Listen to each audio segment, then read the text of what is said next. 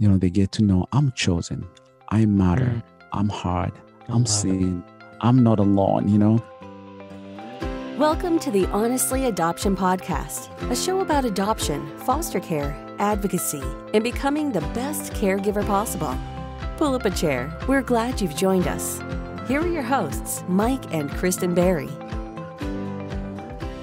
Friends, welcome back to the Honestly Adoption Podcast. We are so excited that you guys are here. Wherever you're tuning in from, uh, all over the world. Uh, man, we've had listeners in like 50 or 60 different countries all around the world. So chances are you could be in Australia, you could be in Canada, you could be in the UK, or right here where I'm at in the United States, uh, tuning in. And we are glad you've done that. You are joining us for season 25, episode 220. My name is Mike Berry, along with Kristen Berry. We are your hosts for this show, and we are excited to air a previously published episode with our good friend Peter Mutabazi from nowiamknown.com. You may also know him on Instagram. Uh, he is, uh, you can find him over at Foster Dad Flipper. Uh, he is just an amazing guy with an amazing story. This interview is all about how to bring hope to vulnerable children. You will absolutely love what you hear from Peter. And we are excited because we found out just recently that we're going to be at the Replanted Conference in Chicago this coming October along with Peter, along with a bunch of other amazing speakers. And we're super excited about that. So we hope you guys will join us for that. Um, and if you are brand new to the show, make sure you jump over to honestlyadoption.com slash podcast catch up on past episodes. You can learn more about the work that we do at Honestly Adoption. And we would love it if you would subscribe to the show over on iTunes or Stitcher, Spotify, all those places. Um, subscribe, leave us a review. Uh, the algorithms uh, go haywire when you do that, uh, which means that that the this show gets seen, uh, heard by more people. So so help us out. Throw us a bone, my friends. Uh, we would love for you to do that. Um, guys, thanks for joining us. You guys are awesome. And now on with this special interview with Peter Mutabazi. Peter Mutabazi is an advocate, a foster parent, and an adoptive dad. He is the creator of NowIamKnown.com. You may know him on Instagram or Facebook as Foster Dad Flipper and YouTube as Now I Am Known. Peter, welcome to the show. Oh, well, thank you. Glad to join uh, you guys. We are so glad to have you here. We have so many questions, so we'll try to squeeze them into the limited amount of time that we have we want to just jump right in. Um, I love the name of your site, Now I Am Known. What does it mean to be seen, heard, and known as a child experiencing foster care? Uh, what now I'm known is, you know, really came, you know, through my own life. You know, that I was a, a kid that knew, you know, nobody knew.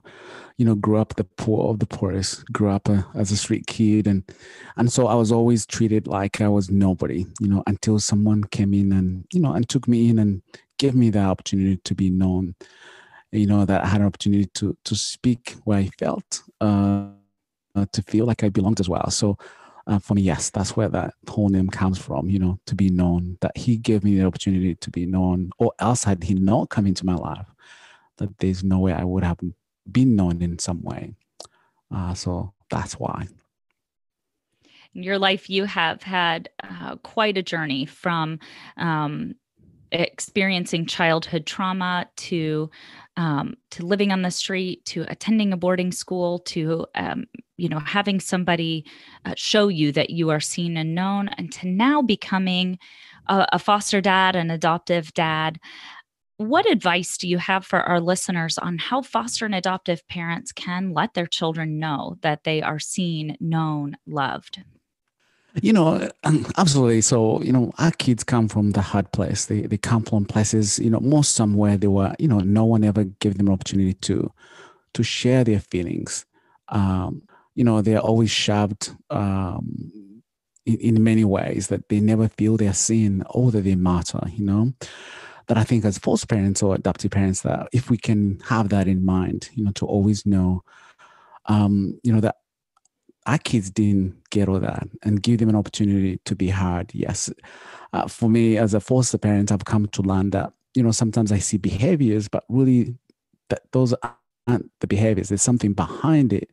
And to know that, you know, probably before they were never given opportunity to to say or do or feel that they matter, that they found a way to express that, you know, that if if I can find an opportunity to give them an opportunity to, in some way, to speak and feel their heart, they are part of the community, they are part of the family, that they belong, that in some way I'm really helping them deal uh, with, you know, with a few things that they're dealing internally that sometimes they're not able to to tell us or articulate to us as parents. Absolutely you know, I've, I've noticed because I do follow you on Instagram um, that your son, uh, your oldest son, was adopted and you have the same last name. Names are so important. Um, I, I was just actually uh, listening to you tell a little story about uh, what your mother named you um, and what that means. And then uh, it just kind of led me to, again, this thought of uh, names are so important. Uh, so I'd, I'd love it if you could tell us a little bit about your name um, and then maybe how you and your son uh, chose his name to include your last name or whatever process went uh, into that decision. Well, absolutely. So I come from Africa, and during my time, you know, for every 100 children were born, 50 would die before the age of two. So most most moms didn't name their kids because they weren't sure they will make it, you know. And it's not like they didn't love them, you know. It's hard when you don't know if your child will make it. When you give them a name, that means that will haunt you for the rest of their lives. So, and you know, when I made it too, my mom said, you know what? He's a gift given to us by God. So he called me, he's a gift given to us by God. That's what it means, you know, in some way to know that I made it. You know, so that, you know, so to me, my name is just not my name, but it really carries my story as well. Where I came from, what conditions I was born in into. That really helps me in some way uh, appreciate and, and love my name because uh, of the history that it has or my own story. And for my kid as well, you know, when I adopted my, my oldest, that I think he wanted to belong. The, the only way he could feel he mattered, he was part of my family, was to have my last name. You know, uh, before the adoption, I think that's what he worried about because he he didn't have that as an identity. You know, uh, that every time we went somewhere, I was called a different name. He was called a different name. That he wanted to belong, and you know, after the adoption, once he he got my name, it's been probably the proudest thing he's had. You know that he loves his name, you know, and I've also been able to explain to him what that matters, what that means in, in an African sense. That you know, I am who I am. Uh, because my name reminds me every day, you know, that I'm a gift, mm-hmm. that I'm a produce, uh, and that my mom was proud of me. You know, so I'm proud of you as well for having my last name. I love that so much. It's a big conversation within the adoption community right now. Um, you know, to keep names, to replace names, to add names. And I know in our family, um, all eight of our kids were adopted, and some of them adopted older, like yours were. And that is exactly the conversation that we had. I want to know um, that I have a mom and dad. I want to know uh, that that on this little piece of paper that my brothers and sisters are my brothers and sisters. And a part of that was gaining the last name. And for our kids um, our older kids who chose their own name actually our daughters picked uh, hyphenated names and we laugh because we we added middle names um, names are really important in our family as well and so uh, our kids kept their biological name, added some middle names, and added our last name. And some of them even added the hyphen. And so we laugh at how long the names have become. Um, but because that was such an important thing for them to maintain, you know, some of that. Uh, identity from before and moving forward. So I I love that. I love that your mother gave you that name and I love that you're sharing that name with your son as well. Mm. Okay, so how have uh, your experiences with childhood trauma shaped the way you parent? Oh, you know, so I grew up, you know, the poor of the poorest. You know, grew up in a home where there was never, you know, I grew, I never had two meals a day. I had one meal a day or the other day. Um, and then, you know, at age of four, I began to realize that not only were we poor, but my dad was the most abusive man you could think of, not just to me, but to my mom as well. So I had poverty on one side that would take my life, but also I had a dad that could easily take my life uh, as well. You know, so I could never speak. I was never given opportunity to to say one word. I, I grew up in a home where never at one point did I ever hear one positive word from my dad. You know, I, I grew up in a home where I was told I was garbage. I was I would never amount to anything. Uh, I, I was I was useless. That's what I had every day. You know, from the man who should have loved me, and so that left a hole as a kid. I think where I longed. You know, I, I did everything possible to please my dad, but at the end of the day, I never got one positive word you know?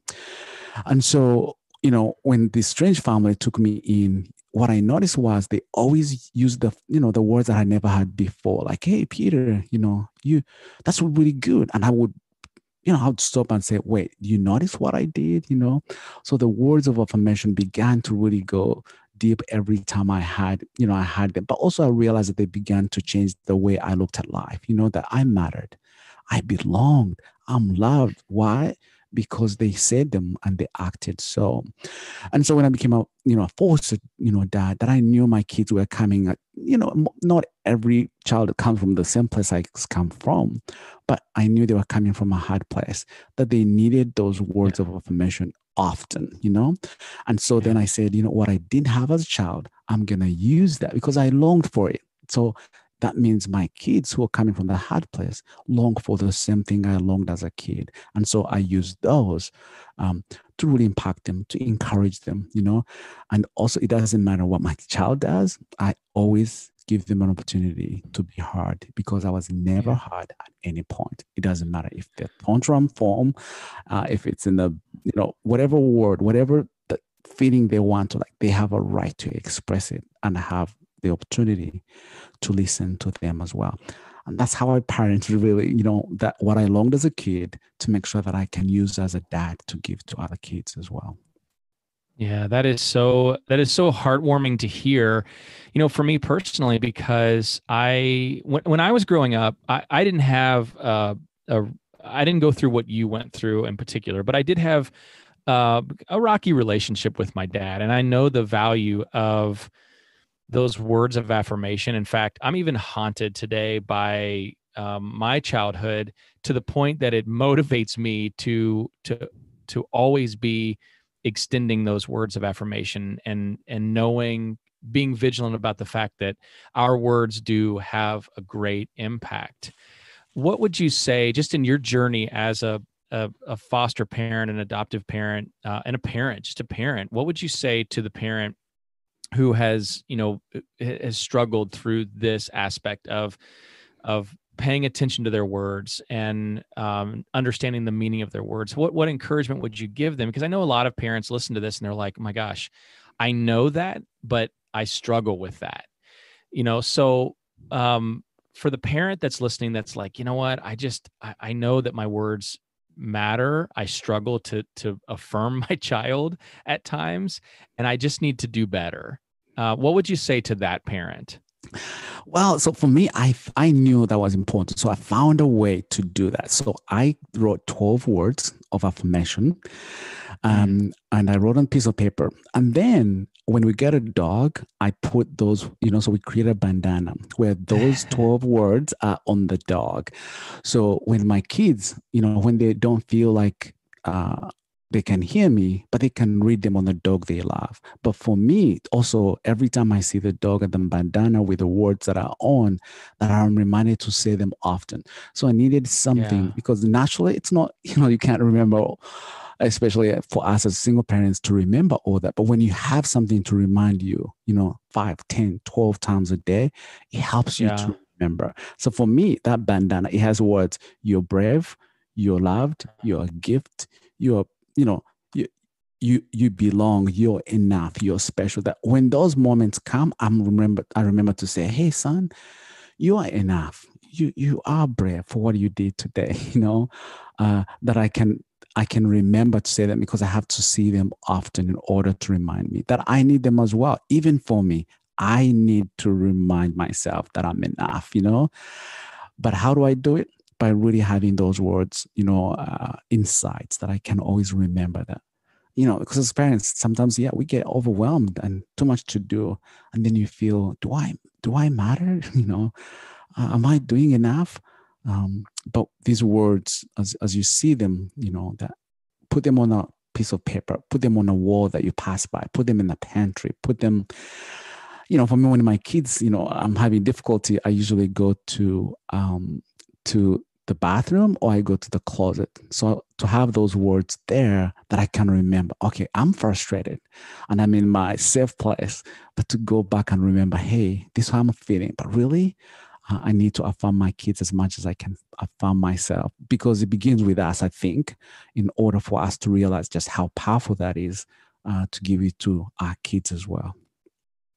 I think you're really speaking to so many of us who are um, working to do things differently in our families.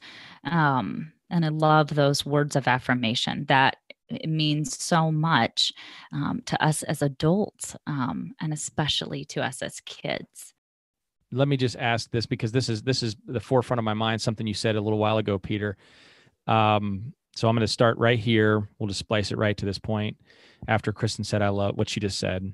So I want to ask you back at the beginning, uh, you know, a few minutes ago when we were uh, when we started this interview, you mentioned you were talking about behavior, and you mentioned taking a step back and realizing that there's more going on than what you see in front of you in terms of the behavior. Um, that is actually something we get asked about all the time. We were just doing a radio interview yesterday, and that, that was one of the big topics that we discussed um, from our new book, uh, Securely Attached. But I want to ask you to speak into that a little bit because that's probably the biggest pain point for parents when it comes to the connection they have with their child or understanding their child is is being able to take a step back and realize okay this meltdown that i'm seeing this behavior is an indication of something bigger. It's not just a bad it's not a bad child behaving badly, uh, which would be the easy conclusion, right? But there's something more going on. So in your in your journey um, as a foster parent um, and adopting children uh, from trauma, and even you know understanding this from your own journey and your own trauma, how do you as a parent continually remind yourself and continually coach yourself to remember and understand that this behavior is there's more going on. This is an indication into something bigger.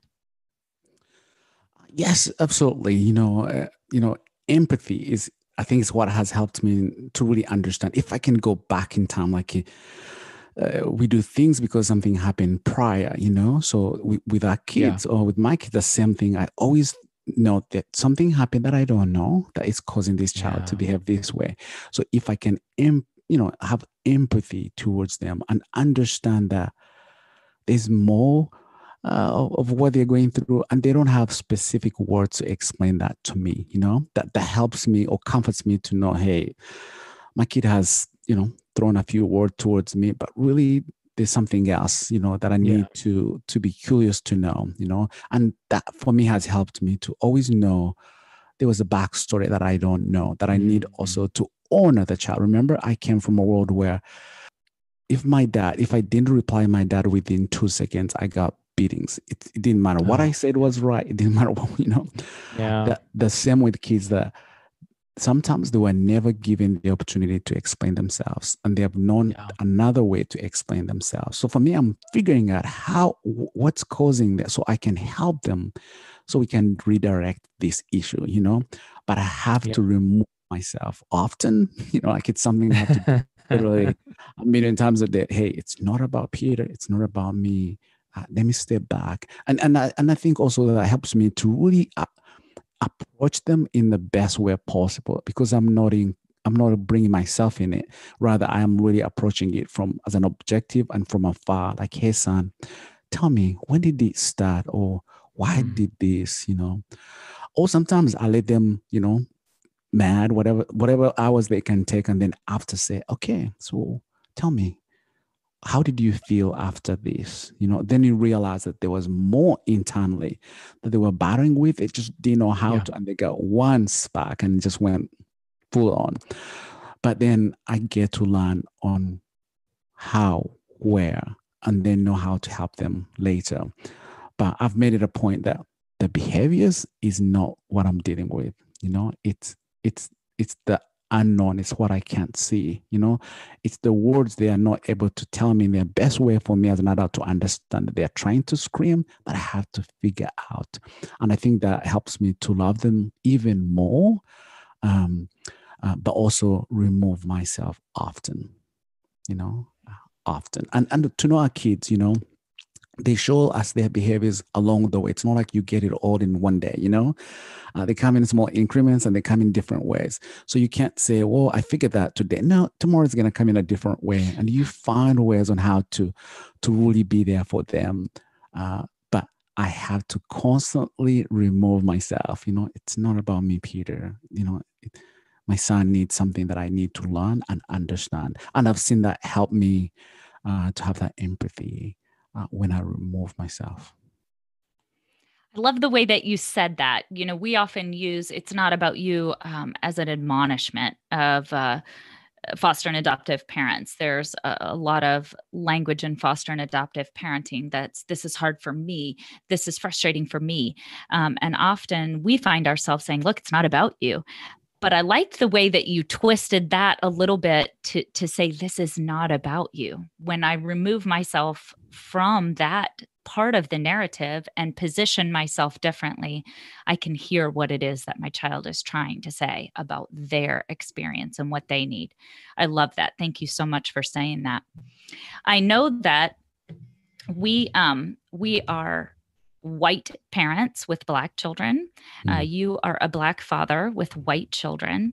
And in our culture right now, um, in the history of the United States, that's a very complex um, situation. Um, and uh, transracial adoptive and foster parenting it just is it, it is complex it requires parents to be aware educated, uh, respectful of multiple cultures, as well as the underlying racism here in the US.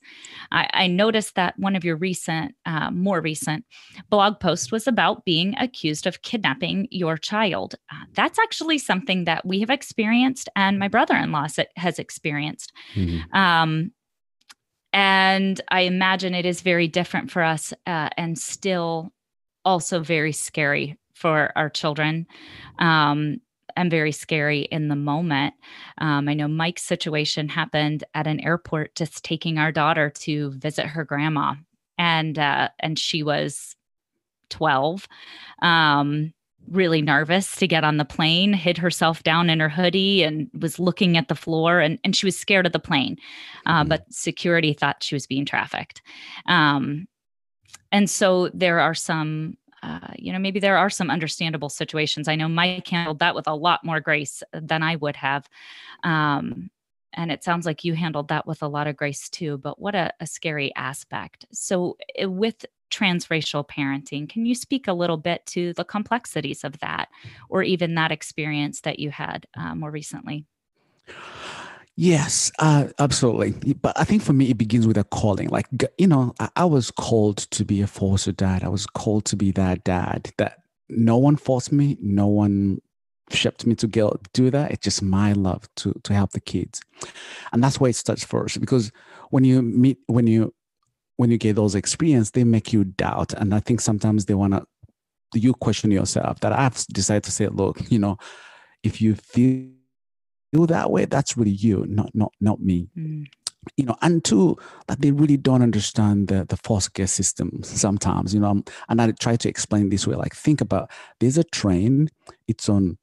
It, it it's running and everyone in it is in danger and they're about to go off the cliff, you know? And think about if I'm to rescue them, do I go in and say, well, you are different color? No, you stay on it. You know, like to help them like hey it doesn't matter watch out who they look like they're in danger and it's our job to be as passionate and caring to care for them, you know, uh, that they are vulnerable, that they need us. So before we can go to color, let's just think of that. And, and knowing that I understand it and they don't, sometimes it helps me, I don't know, not to judge them, you know, mm-hmm. uh, in some way to say, look, uh, I can't, unless you want to learn, I would, I would teach you. But if you want to judge me as who you think I am, I will not let you take away the joy and the calling that I have. That I have to embrace it. Like it's, you know, I don't know how to explain. Like it's it's hard to, in some way, to go in thinking, well, everyone should love me. Everyone should think it's okay. You know, like going, you know, hey, I am gonna have people who will not agree with me, but that's okay. You know, yeah. I'm gonna, I you know, I travel with my every time I go outside with my kid, we have a copy of adoption in the car and the you know the, the placement letter. So every time the police ask me i have what to prove. But i don't have to really be fearful but rather when i'm doing the right thing that when when someone thinks i'm doing wrong i'm gonna show hey he's who i am. He's what i love about and and whatever you do it's not gonna deter me from loving these little ones like you know uh, again as much as we we we try to you know as we help our kids to remove ourselves when we need to help them the same way we actually have to deal with the people around us who want to question us who want to judge that. We have to remove ourselves. Hey you question me that that's your issue. That's not my issue but i will do my best to to be a dad to this kid as much as i can. And that's how i educate my kids as well. Like when someone questions you or when someone questions me just you know that doesn't change how we love each other. You know, that's their mm. problem that they have towards us, that we can't stop loving and living our lives that way, you know? Uh, and that's for me how I've been able to, to help it. Like it's, it's not, it's a calling, not for everyone. And if I really know that truly I've been called to this, I'm going to do it no matter what they say, no yeah. matter what they think. And I think that changes the, uh, the narrative. And for those who want to learn, you know, I, I mean, even the police, every time they stop me, you know, they, they feel so bad after because they, they got a phone call. They have to invest, you know. but then they yeah. find out like whoever called was wrong. They're like, gosh, you know, oh, you know. But at the same time, you know, they're doing their job, and I I can't fault to them, you know. But I can fault to someone who thought I was wrong. But I I can't be angry either, you know. Uh, that right. they they will say what they say, they will think what they think, but I'll stay I'll stay put to what I'm called to do. And I think along the way, that changes the narrative of how they think or do things. Yeah, yeah, I I love that you say that. You know, you, we're in control of ourselves. You know, we we we don't give permission to people to take our joy um, and our passion away. Like that is that is ours to to hold close to us. So I think that's really valuable because I think that sometimes, especially in this world that that really, especially right now, um, kind of prides itself on attacks. You know, everybody's on the attack. Everybody is on the defense, uh, right. and and civil conversations are just out the door anymore. You know, it's kind of like this: you're, you're either with me or you're against me. And I think that sometimes people who are on the receiving ends end of attacks or are on the receiving end of something that is unjust, we feel like we we have to give up what what makes what fills us up what what brings us joy. And you're so right that no it doesn't we don't owe that to anybody else. That's ours. We are we were called to do this. This is what brings us life and this is what we have been called to do. Um, and nobody else has the permission to take that away from us. And i think that's a really refreshing lesson uh, for parents because a lot of our our audience members have gone through investigations. They've gone through, they've been the subject of judgment at church, in their community, at their schools. And, you know, um, and it, it's, it brings us down, but mm. that's a refreshing message that your joy is yours, your passion is yours. So I just absolutely, uh, I'm applauding you as you say that. I totally agree. Now, you have a dog named Simba, right. which is, that's so, that's awesome. Absolutely awesome. Um, tell us a little bit about Simba um, and and how has Simba supported security and and healing on this journey? Yes, you know, so you know, I don't know, five, ten years ago, I thought I will never have a pet. You know, that that was my never. we all never. say that, right? uh, but then I got I got kids, you know, and I noticed like everywhere we went, if there was an animal, they would really want to touch. They, you know, you would see themselves coming out, you know, and I thought, you know, uh, uh, to see the joy uh, of a you know a little boy for seeing a cat or a dog, you know, that I really felt like I can bring that at home. Like, what if I can bring that at home where they get to have it, not just because we walked and met a dog, but it's just everyday uh, thing. And that's why we got a Simba, you know, and he's been probably the best friend we could ever, you know, we've, uh, we've ever, ever had because my kids, you know, really love Simba, but also Simba has been able to do what I would not do for me. For example, my dogs, uh, my dog loves them they love Simba. But sometimes when they when the trauma shows up, you know, that they have someone to cuddle with, they have someone they love that goes to them and say, it's okay, you know? Uh, and that's why for me, I came up with these 12 words because Simba is able to carry them for me. Like, you know, there, there, are moments when they cannot hear that from me, you know, but also there are moments where for me as a parent, I can't say them, but at the same time, want that to, you know, uh, stay so they can, you know, if dad is not happy, but we still belong here. You know, if dad is frustrated, I, you know, I'm I'm I'm enough that they're able to read it, you know, uh, but also that I'm able to remind myself of that as well. And so Simba has been more of like a vessel for us, where he he's really a therapy dog that gets to carry these words for us. That they, my kids get to see them, you know, every day, every moment. They they hug the dog, you know, they get to know I'm chosen, I matter. Mm. I'm hard. I am seen. It. I'm not alone, you know? And it's been really a joy um, to see, you know, it's more an extended arm of me uh, when it comes to, to seeing that it's truly been a blessing uh, uh, to see the joy that it brings to the kids, but also, you know, during the difficult times on how comforting uh, he is to them. Uh, but above all, uh, those words of affirmation that they don't go away, that they are always with us. It doesn't matter if we enjoy, if we're not happy, um, that they are seen, heard, uh, and that they matter. That's beautiful. All right. So you have a short film coming out soon that we were so privileged to watch. Can you tell our listeners more about that project and when and where they will be able to watch it?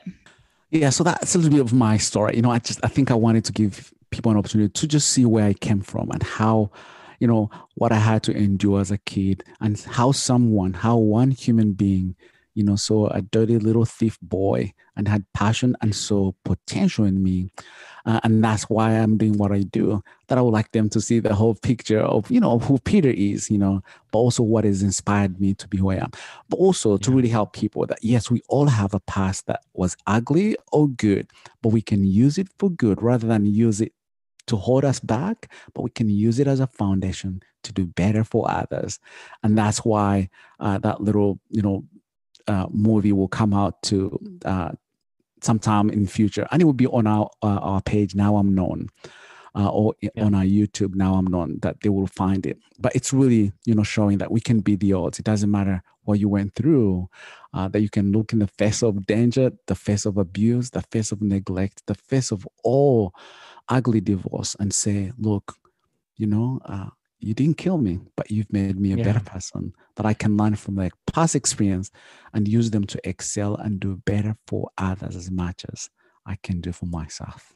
Yeah, absolutely. And I will say this to the listening audience, as always, over at honestlyadoption.com forward slash podcast, uh, we always put notes that accompany each each episode, and we're going to make sure that we have every means possible to connect with you peter listed listed in those notes. So so if anybody's out there like trying to feverishly keep up like what wait wait what was that site again? What was the instagram account?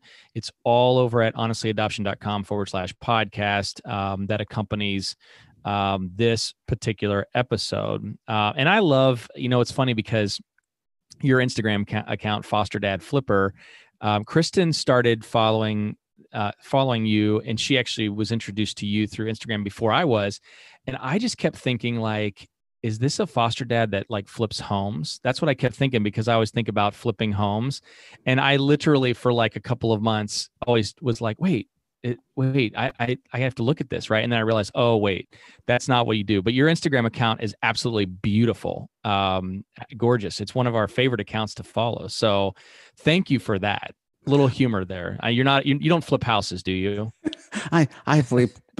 Truly, I don't know. Yes, I I thought you know I think people are comp- sometimes they you know we gotta find a way to really get them pay attention. Like hey, I, yeah, exactly and it's a joy to like i think we we have a tendency of i have to take the children no like i think i understood foster care as my job is to be there for them while mom and dad cannot but it's there right right to make sure that when they come back i i hand them over uh, with joy and love and, and pride yeah as well I love it. I love it. Yeah, I like I said, it's it's a it's I, I love we love scroll, looking at your pictures and and following your story. It's absolutely amazing. So I have one last question for you, Peter. This is something we always like to ask our guests, um, sure. and it's it's it's it's kind of it, I wouldn't say it's a hot seat question, but it's it's twofold. It's what are you reading and what are you watching? Sometimes we ask it like, what are you reading? What are you binging on Netflix or Hulu or Disney Plus or something like that? So, but I'll just ask it like this: What are you watching right now, and what are you reading? Oh, so right now I'm reading um, safe safe home. You know, safe home is really about how do you create your home to be safe for the kids and yourself. Okay. Yeah. Uh, uh, that's what I'm reading, uh, watching. Hmm. There's this show about kids. I think it's in Orange County where uh, kids choose who their parents should be, who should adopt them. Like I, I really find it fascinating. You know. Uh, that really? I think I, yes, that I, I feel like um, if I was close, I think I would be attending that every day. Okay, who's going to choose me? It's it's a great humbling concept, you know. Interesting. the child is the one who gets to choose you. Um, you know, uh, that's really cool. The other part we're truly doing is we're trying to create. Remember, I told you about Simba. You know how he uh-huh. carries the words of wisdom. So we created a a, a, a plushie that dog we can give to kids for free. So we can give those kids our kids in the foster care, if they need them, or agencies, the yeah. words of wisdom on Simba uh, as a stuffed animal. So that's something I'm learning, you know, on how to really use what God has given us in some way to bless others yeah. as well. Yes. Yeah, that's so cool. I I absolutely love that, and and I want one of those I want, I want a Simba. I need we'll send you. We'll send you a Simba. So, yes, I'd love one of those. That's amazing.